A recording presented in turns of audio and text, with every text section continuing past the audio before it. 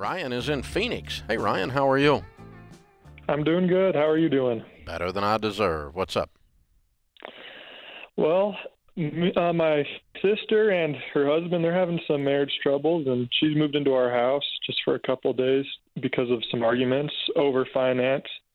He wants to make a Dungeons and Dragons man cave and take out a twenty thousand dollar home equity Wait a minute. That, that's an oxymoron. That is not a man cave. Okay, anyway, go ahead. well played. yeah. It's, How old is this boy? Uh, he's in his twenties, upper twenties. Wow. Oh, okay. He wants to take out a dun- he wants a Dungeon and Dragons man cave, and uh, so what? And he's wanting to spend money she doesn't want to spend. Is that it? Yeah, so she would have to sign in, sign on with the home equity loan. Oh, he wants to borrow money for it.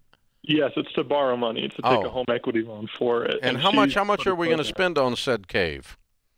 Uh, they're looking to do a twenty thousand dollar loan. Wow. That's quite a dungeon, and it must have real dragons. I think it does. certainly, one- certainly one that moves and maybe breathes some smoke for that kind of money. Wow. He's got some big visions. but Or the, the problem here is it- it's really driving a wedge between them and their marriage, and I, I need some help. So if she's living with me right now, I need some help in knowing how I can help guide them, give them some good advice, and and what they're doing, so they Yeah. can get through So, this. what kind of income? What kind of household income do they have? Uh, they've got to be around 50k a year. Okay. All right. So, as much as I want to make fun of it, I'll sidestep that for a second because it's just a, it's too easy. But um, I can understand Yeah, that. the um, but but let's just say that virtually anything you want to do that's legal and moral with money, I'm fine with. It's your money, okay? So if you want to build a Dungeons and Dragons man cave, it's not probably on the list of things that'll happen in my lifetime for me, but that's okay. If you want to do that, that's all right. And me the- but the trick the trick would be a couple things. You would have to use uh, you'd have to have several basic principles that you followed. Okay, so whether it's in my case, my version of that is I own too many firearms. Okay, an absurd an absurd number just because I'm a collector. Okay, and uh, so that's the same. That's just as stupid to some people as this is to uh, other people, right? So same thing. But in that case, so here's what would have to happen. A, I would need to pay cash. Number one. If I can't pay cash for my um absurd hobbies, mine is guns, his is this, okay? Then you don't do it. It's it's out of range. Okay. Number two, uh, it needs to be when I'm done with the whole thing, a small percentage of my net worth and income. So in other words, if I have if I make thirty thousand dollars a year and I have four hundred thousand dollars worth of firearms, that's asinine. That makes sense. Okay. That totally makes sense. And so it needs to be a small percentage of your world because it's it is a hobby for fun by definition. And when your fun takes up too much of your life, it no longer is fun when you're like a grown up and stuff. Okay, so Right. so one, we're going to pay cash. Two, it needs to be a small percentage. And three, here's the hard one here. And this is where the rubber meets the road on this one, even more than the other two. Um, it can't I can't put my selfish desires in front of the needs and wants of my family. Right. And so if I, in my case, I'm using my firearms as the absurd thing. If I am doing that and my wife doesn't have a good car, well, that's a little boy wanting to collect hunting guns or, or collect guns, okay? And and uh, and I'm so I'm I'm putting my desires ahead of the good of my overall family. My children's college fund isn't funded, but I bought a new gun. That's a that's a right. that's a child, not a man.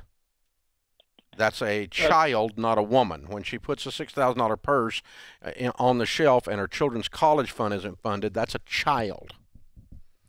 And right. ain't no coach in the world worth that if your kid isn't going to school. Okay, so Right. that's where the problem is here. All three of these are violated in this case. And it has nothing to do with Dungeons and Dragons or the weirdness of all that. It has everything to do with A, he's borrowing money, B, he can't afford it, and C, the big deal for me is if I'm her brother, if I'm you, Uh, is that right. he is putting his little selfish wants ahead of the needs of his own wife. And I think that's how we've been seeing it too. You know, it's it, it does seem childish, but well, we the problem is it's it, I mean we have problems in the past with it and everything with those two, but it's hard to get them on the same page. You know, it's just Well, because they're, because they're they're immature. Right. I mean, she's put her foot down. She's she's got him out of credit card debt. She married him, so she's immature Yeah. there you go. because he's immature beyond belief, emotionally. right. He- Right. he's a little baby boy that wants his little thing, and he's having a little fit, and that puts her in the seat of mommy instead of the It seat of wife. Gratification. Yeah. Yeah. It is. So. And so what they need, right what they no way than desperately need, is not financial counseling. They need marriage counseling. Right. And I, needs, I'd, I'd have to agree. yeah. And, and so if you want to pay for something, don't pay for Financial Peace University. It won't help them. Okay. Pay for marriage counseling. Get them in with a good pastor, a good marriage counselor that can help these two grow up. But when That she married this guy, she knew he was weird. Yeah, I think I think it went pretty quick, and and then it just went. They got into it. So yeah. Doesn't and matter. I, I listen. I've gotten into got some worse, things- you know. I've gotten into some things really quick too. And when I was an immature little baby child, I put my selfish desires in front of my wife's. And um, we've been married 40 years, and she says we've had 33 good years of marriage. And it was the years where I put my selfish desires in front of Right. her that Right. she's laughing about. They're not fun. They're funny now. They weren't funny back then. Hopefully, someday they can heal them their marriage and both of them emotionally mature in this process and they can look back and laugh at the absurdity of we almost lost our marriage over a Dungeons and Dragons man cave. I mean, that really 30 years later has got to be funny. I'm just saying. Uh, it's it's funny for it's almost funny right now. Honestly, I mean we we've laughed and then it's laughing, and then you then you think, wait a second, this is for real. Yeah. Right And it's causing So, it's causing a divorce. Oh my gosh. I mean, she had to move out.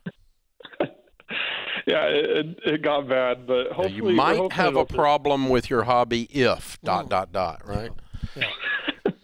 Yeah, Well, we're- what we're when they get on the same page as a married couple, then the finances can get on the same page. But Dave is absolutely right. This is a full alarm marriage issue. It's got to be dealt with. Then the money can take uh, the next priority piece. But right now, there's bigger issues going on here. So here's a way to meet him. Okay. I don't, ha- you know, I would tell her to tell him this. I don't have a problem with you building a man cave. I do have a problem with your putting your needs or your selfish self in front of the good of our family and our marriage. I do have a problem with borrowing money to do it. And I do have a problem with spending money that is an excessive amount considering our current financial state. And uh, but but if we can get all of those things straightened out, and you want to build a man cave someday, that with cash, and that is a small percentage of our world, even if I don't understand the the whole thing, we can do that. Right. And, and uh, Well- but I, in other words, it's not no, it's not now. I'm not using these principles. Right. But right. And I think you're right. It does come down to just changing, and uh, that's through Christ. So keep them in your prayers. We'll keep them in ours. exactly, so- yeah. And and you know, if you can get them in with a good pastor, this may be the thing that, that creates a whole spiritual movement in their marriage that facilitates the emotional maturity that helps cause it to grow up. Because one thing about a powerful spiritual walk is one of the things it'll always teach you is to not be so dadgum selfish and self-centered. And um, it's the main problem with every marriage, by the way, including Ken's hey, let's go to commercial, shall we? and mine. this is the Ramsey Show.